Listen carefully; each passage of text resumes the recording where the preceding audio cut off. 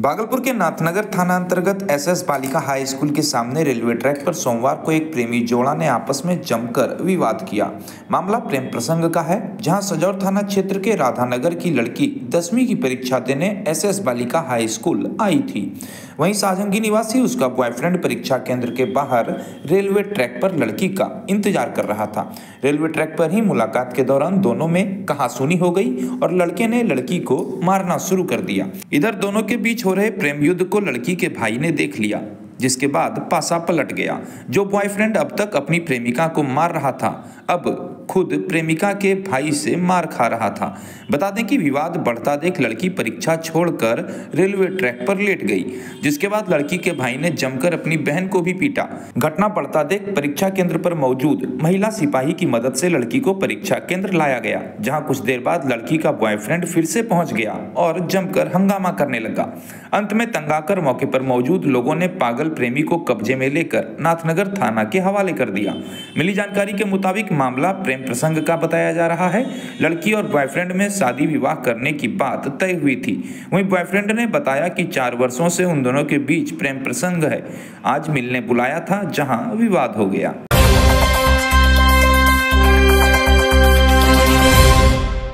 भागलपुर के सबौर स्थित बिहार कृषि विश्वविद्यालय परिसर में तीन दिवसीय किसान मेला। सह उद्यान पशु प्रदर्शनी का समापन सोमवार को समारोह पूर्वक किया गया। समापन समारोह की अध्यक्षता बीएयू के कुलपति डॉक्टर डी आर सिंह ने की। उन्होंने समापन करते हुए अतिथियों का स्वागत किया और आयोजन में शामिल होकर इसे सफल बनाने के लिए सभी का आभार व्यक्त किया। वहीं समारोह में मुख्य अतिथि के रूप में तिलकामांझी भागलपुर विश्वविद्यालय के कुलपति प्रोफेसर जवाहरलाल एवं बीएयू के प्रसार शिक्षा निर्देशक डॉक्टर आर के सोहाने मौजूद रहे।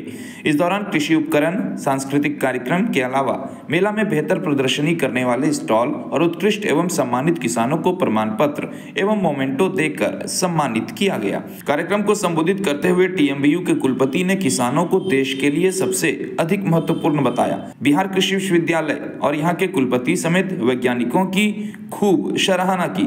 इधर कुलपति डॉक्टर डी आर सिंह ने अपने संबोधन में, खेती किसानी को उन्नत बनाने, रोज़गार के अवसर मुहैया कराने, आत्मनिर्भरता के लिए कई तरह के प्रशिक्षण कार्यक्रम चलाने, महिला सशक्तिकरण, वैज्ञानिकों की उपलब्धि और कृषि के क्षेत्र में अधिक से अधिक संख्या में युवाओं एवं महिलाओं को आगे आने की बात कही।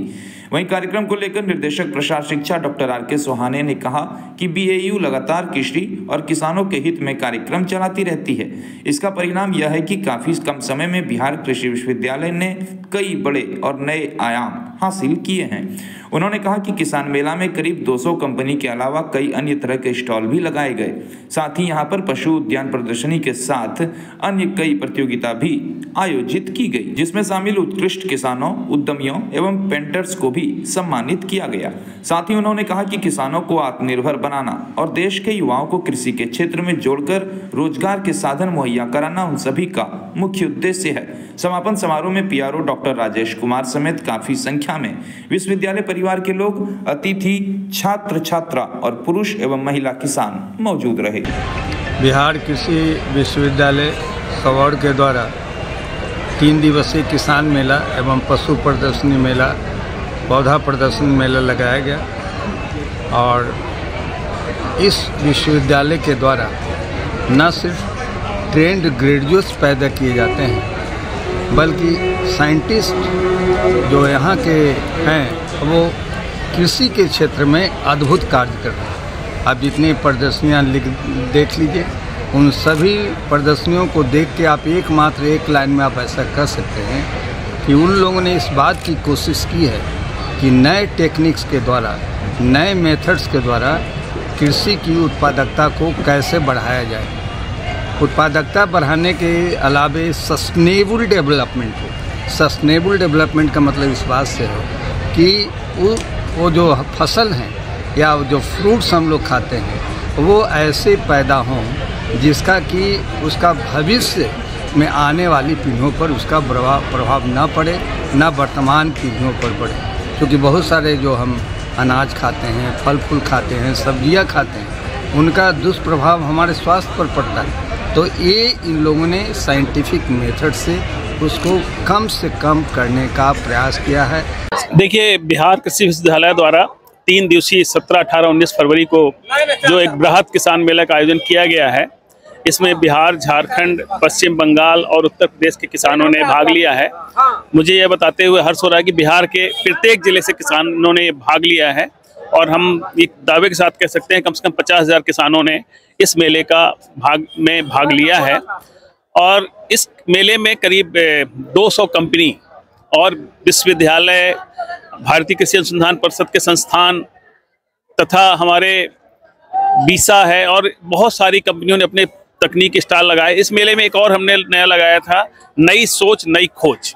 जिसमें हमारे वैज्ञानिकों के नए नए जो उन्होंने ज्वाइन किया, उन्होंने अपने आइडियाज़ यहाँ पे बताए थे कि उनके दिमाग में आइडिया क्या है, कैसे वो आने वाले समय में किसानों की आमदनी बढ़ाने में, उपज बढ़ाने में, लागत कम करने में उन आइडियाज़ को बदलेंगे।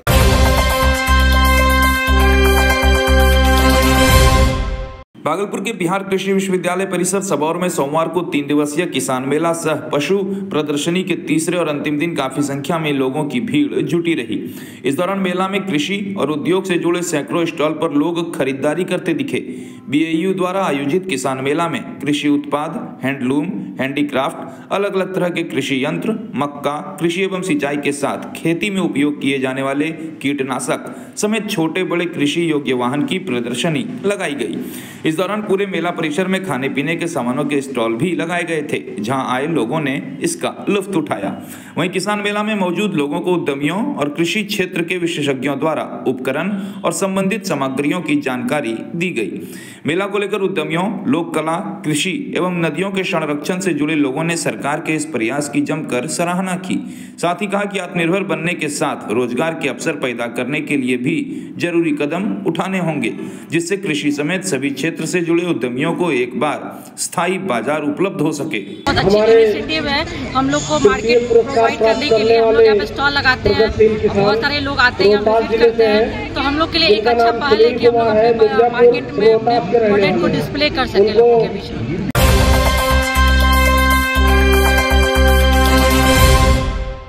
अगर आप अपने बच्चों की हकलाहट, तुतलाहट या मूक बधिरता को लेकर चिंतित हैं या बढ़ती उम्र के साथ बहरेपन की समस्या से परेशान तो चिंता छोड़िए, क्योंकि अब भागलपुर में आ गया है इन सब का समाधान। Nirala speech and hearing clinic. Audiology, speech therapy के साथ साथ विश्व स्तरीय best digital hearing aid with rechargeable and Bluetooth facility. तो आज ही सुनने की जाँच कराएँ तथा सुनने की मशीन लगवाएँ। Nirala speech and hearing clinic. हमारा पता है, बड़ी पोस्ट ऑफ़िस के सामने, मेट्रो मिर्ची रेस्टोरेंट तथा सेंट्रल बैंक वाले रोड में, Bhagalpur, mobile seven zero five zero one nine double three four one. हमारी दो और भी शाखाएँ हैं, पूर्णिया में Panchvati complex, Bihar talkies road, Line Bazar, Purnia, और अररिया में, टाउन हॉल के सामने वाले मिर्ज़ा गालिब रोड में, ए बी मेडिकल के समीप।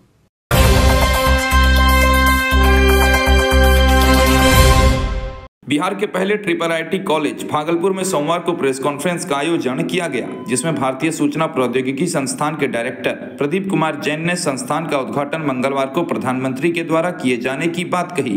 भागलपुर ट्रिपल आईटी के डायरेक्टर ने कहा कि भागलपुर बिहार का पहला ट्रिपल आईटी है। जहाँ 2017 से अलग अलग विषयों का पठन पाठन शुरू हो गया है। उन्होंने कहा कि 50 एकड़ के एरिया में फैले इस संस्थान के कैंपस में workshop, girls hostel, boys hostel, residential campus के अलावा हर तरह की सुविधा उपलब्ध है। साथ ही उन्होंने बताया कि यहाँ lab, IT, computer science, engineering, electronics engineering और कंप्यूटेशनल मैथमेटिक्स के अंडर ग्रेजुएशन एवं पोस्ट ग्रेजुएशन की पढ़ाई की जाती है, जबकि काफ़ी कम समय में यहाँ पर प्लेसमेंट रिकॉर्ड भी अच्छा रहा है। उन्होंने बताया कि पच्चीस हज़ार स्क्वायर मीटर से अधिक के एरिया में 128 करोड़ की लागत से कॉलेज का डेवलपमेंट किया गया है।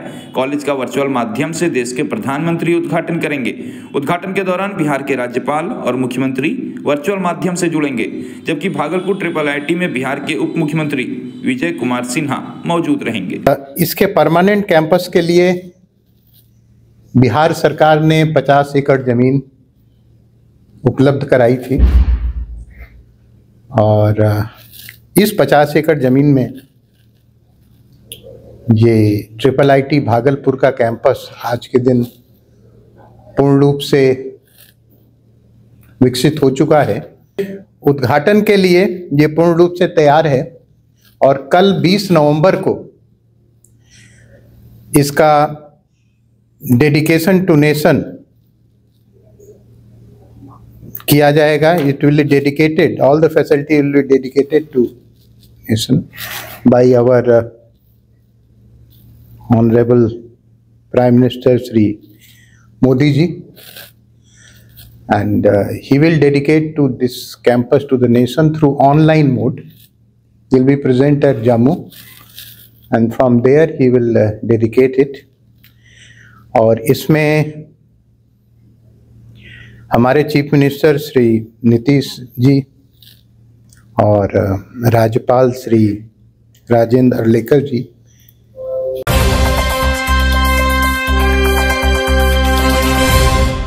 भागलपुर सुल्तानगंज के अजगवीनाथ धाम में महाशिवरात्रि को लेकर एसपी सिंगला कंपनी के द्वारा अजगवीनाथ धाम मंदिर के सौंदर्यीकरण की तैयारी युद्ध स्तर पर की जा रही है। इसको लेकर एसपी सिंगला कंपनी के कर्मियों ने थानाध्यक्ष प्रिय रंजन के साथ सोमवार को अजगवीनाथ धाम मंदिर का जायजा लिया। इस दौरान कंपनी के आलोक कुमार झा ने बताया कि महाशिवरात्रि को लेकर मंदिर का सौंदर्यीकरण जारी है। इस बार 200 फीट का धर्मध्वज, त्रिशूल एवं अन्य रंग बिरंगी लाइट लगाकर मंदिर को भव्य तरीके से सजाया जाएगा।